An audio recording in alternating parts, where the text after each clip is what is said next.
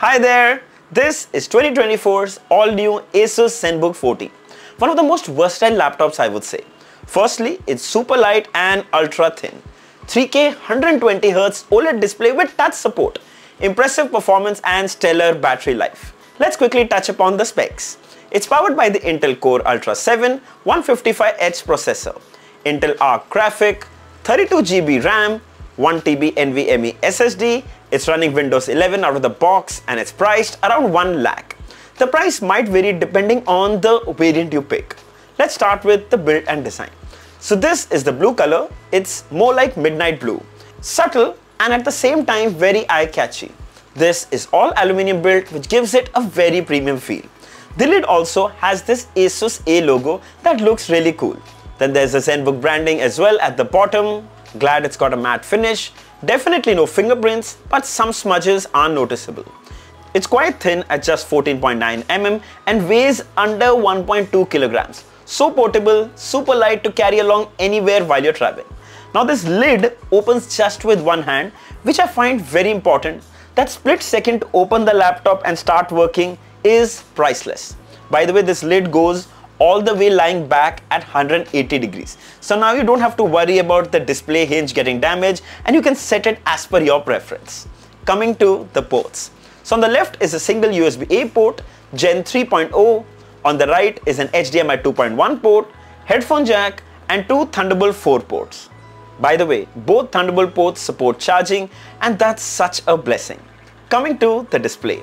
Now that's a 14 inch 3K OLED display with a resolution of 2880 by 1800 pixels. The color reproduction is absolutely gorgeous. Since it's a high resolution display, everything is crystal clear. 120Hz refresh rate provides the much needed smoothness to the interface, animations are buttery smooth and they're mostly noticeable while scrolling on a website. It's also a treat for gamers. By the way, it supports 100% of DCI P3 color gamut with TUV Rheinland certification for low blue light emission. Hang on, there's more. It also comes with a touch display and usually I'm not a fan of laptops with touch support but I realized how much I'm using this feature when it's available. Best part, it's super responsive and works really well. If you're worried about scratches, don't be. The display comes with Gorilla Glass protection. Also, ASUS claims 550 nits of peak brightness, so using it outdoors, at a cafe, or in a bright office space shouldn't be a problem. Then the bezels around the display are also extremely thin, especially the one on the sides. The top bezel houses the full HD webcam for video calls. There's also a privacy shutter, which I know a lot of people prefer. The clarity is actually quite good. We briefly tested for a quick video call and the overall experience was very impressive.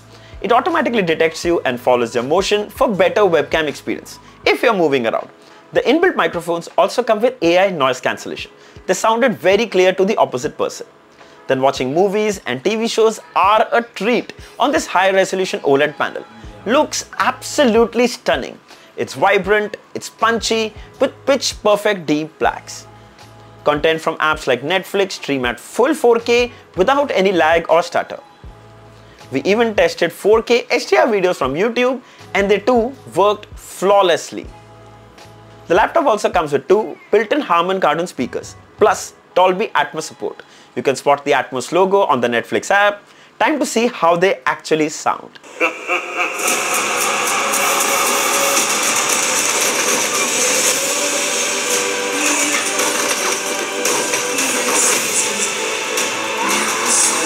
want you to find your peace. So, usually we don't expect too much from laptop speakers, but Harman Kardon speakers will blow you away. It gets surprisingly loud and you don't even need to wear earphones to watch a movie. Of course, unless you don't want to disturb the person sitting next to you. It also gets very clear. It actually has decent amount of lows as well. I mean, it's got that bass and feels really, really rich with Dolby Atmos and 3K OLED display on this laptop, this is a paradise for media consumption. Coming to the keyboard. So it's a nice, wonderful, well-spread chiclet keyboard. The key size is actually quite big, making it even more convenient while typing. It's backlit so it can be used in the dark. You can adjust the brightness or completely turn it off.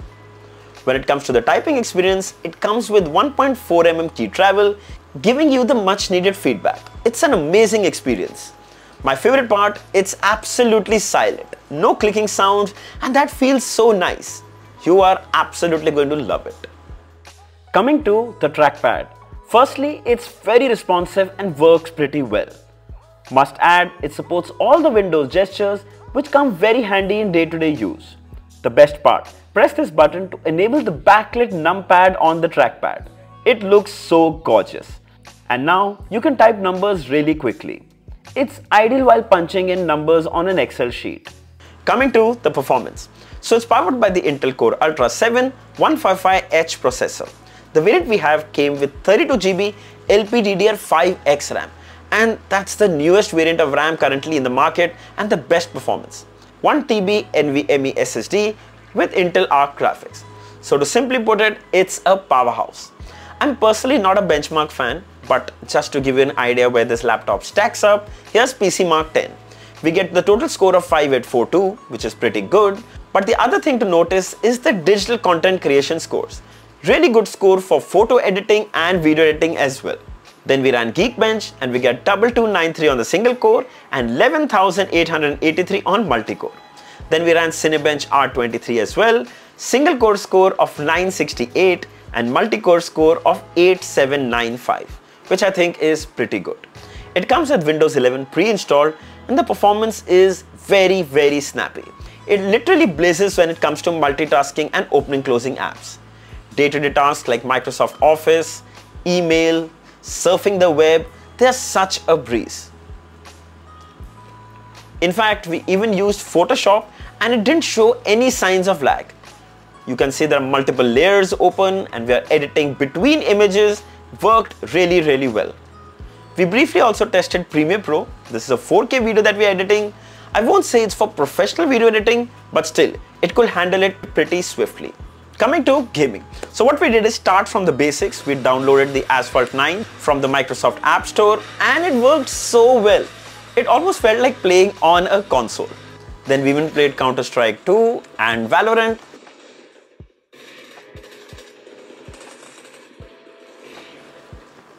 Of course, do make sure you're plugged into the power for the best performance.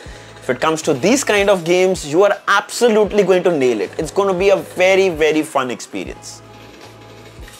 Something specially worth mentioning is My ASUS app. It basically consolidates all the info about the device, giving you all the control. Firstly, you can see the battery, the CPU load and so much more.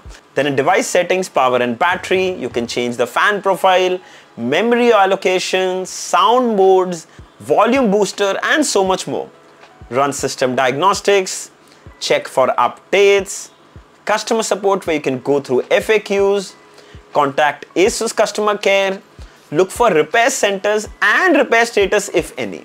And trust me, I have barely scratched the surface. It's a very very helpful app from ASUS. Coming to the battery.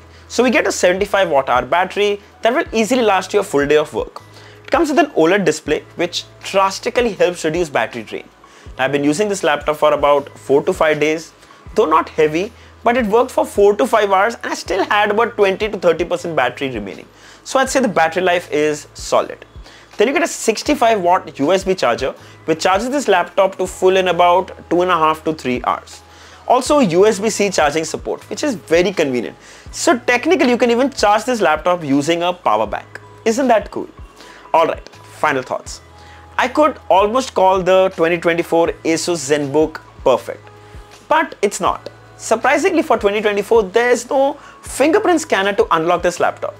It's not a big deal, but yes, entering a PIN or password every time you close the lid can be a little nerve-wracking. But it truly compensates when it comes to one of the best OLED touch displays in its category, awesome sturdy metal build and impressive performance. The Intel Core Ultra 7 variant is priced around 1,08,000. There's also an Intel Core Ultra 5 variant which is priced around 96,000. It's ideal for students and business entrepreneurs. I'll share the links of both these variants in the description. If you'd like to buy one, you should definitely check it out. So I hope this video was helpful. Don't forget to like, share and subscribe. Until next time, cheers.